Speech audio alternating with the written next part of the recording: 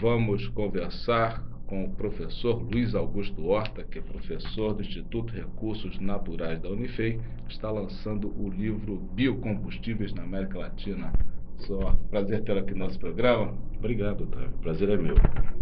Professor, existe uma certa desinformação, de maneira geral, sobre o que é biocombustível. Porque Sim. a pessoa, ah, vida, bio é vida, combustível é combustível, e mas exatamente o que é, conceitualmente, o biocombustível?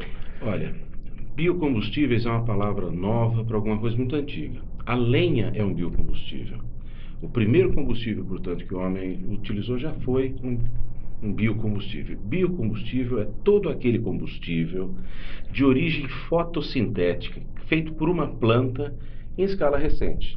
Então, o álcool é um biocombustível, o biodiesel é um biocombustível, a lenha, o carvão vegetal, esses são biocombustíveis. Agora, ah, de alguma forma, a gasolina também é um biocombustível porque foi um produto de fotossíntese de 200 milhões de anos atrás que se converteu na gasolina.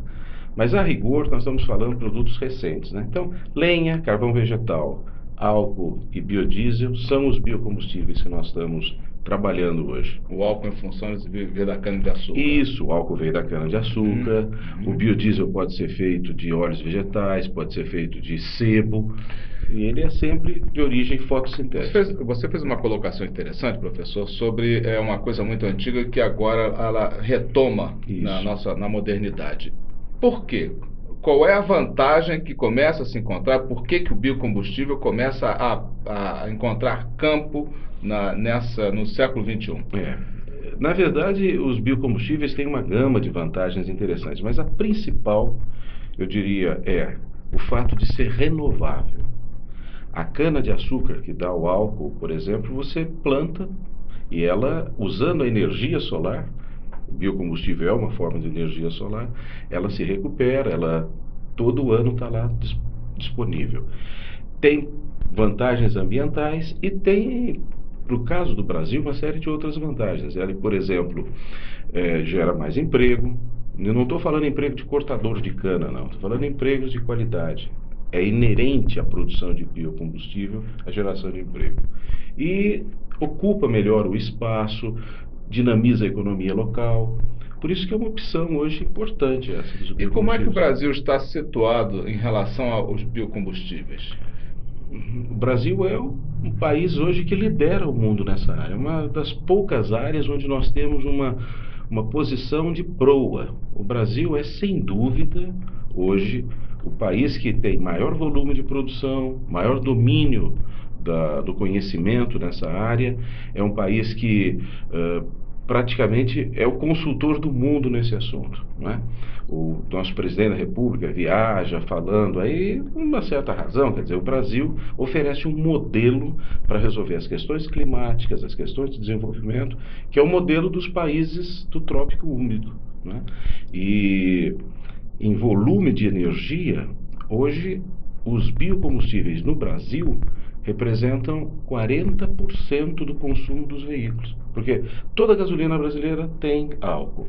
Tem um álcool puro vendido para esses carros flex fuel, etc. Então, é já 40%. No mundo, isso é hoje 30 3%. Quando o presidente Lula se refere nessa propaganda que ele está fazendo no exterior ao biocombustível, ele se, ele se refere especificamente a algum? Olha, o- na, na visão do, do governo brasileiro, está claro que primeiro é o álcool e, junto com o pacote do álcool, fala-se muito também do biodiesel. Há aí um equívoco muito grande. Biodiesel no Brasil, e isso é a visão do governo, é um combustível para pirotecnia. Um combustível para fazer bonito, um combustível que não tem, não tem consistência nessa proposta. Mas a ideia do governo é essencialmente distribuir renda. Então, o programa de biodiesel ele não tem um fundo energético adequado ainda. Nós não temos uma boa matéria-prima, os processos ainda estão muito atrasados e a lógica do biodiesel no Brasil é uma lógica muito frágil. Já o álcool, não. O álcool é alguma coisa que tem eh, consistência tecnológica, tem eficiência, tem produtividade econômica e faz sentido. São dois bichos diferentes. Uh, nós estamos entrando num, numa crise com o sistema de meio ambiente. O meio ambiente anuncia alguns sinais de superaquecimento, é efeito de estufa, etc, etc. Existem também críticas fortes a alguns é, biocombustíveis, como por exemplo o derivado da cana-de-açúcar, porque a cana também provoca queimadas, Sim. que é, também uh, colaboram no efeito estufa e por aí vai. Como é que nós vamos nos situar? O que, qual é o ponto de equilíbrio dessa situação? Porque os, alguns biocombustíveis também precisam de petróleo para serem é, lógico, é, gerados. É, e aí? É perfeita a tua questão. Quando você vê uh, dois biocombustíveis, biodiesel e álcool, por exemplo, ou álcool de cana e álcool de milho, é muito grande a diferença entre eles por conta da história de produzir aquela matéria-prima, de processar aquela matéria-prima, etc. Então, quando eu faço álcool de cana, eu para cada unidade de energia que eu ponho, eu tiro de 8 a 10 unidades de energia. Para cada hectare plantado, eu tenho hoje 8 mil litros de álcool.